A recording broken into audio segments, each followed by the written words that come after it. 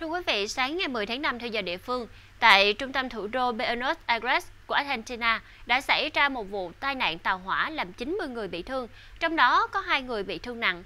Nhiều lính cứu hỏa cảnh sát và xe cứu thương đã được huy động đến hiện trường để sơ tán hành khách và đưa những người bị thương đến bệnh viện.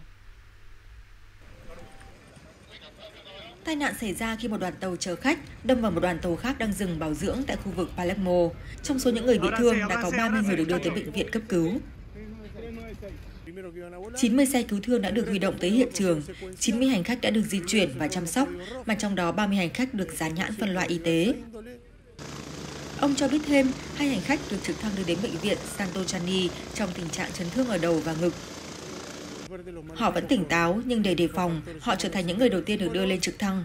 Tổng cộng, chúng tôi đã điều trị cho khoảng 100 hành khách. Nhà điều hành tàu hỏa Trenes Argentinos cho biết vụ tai nạn xảy ra lúc 10 giờ 31 theo giờ địa phương. Thị trưởng thành phố Buenos Aires, Jorge Masi cho biết nguyên nhân tai nạn đang được điều tra.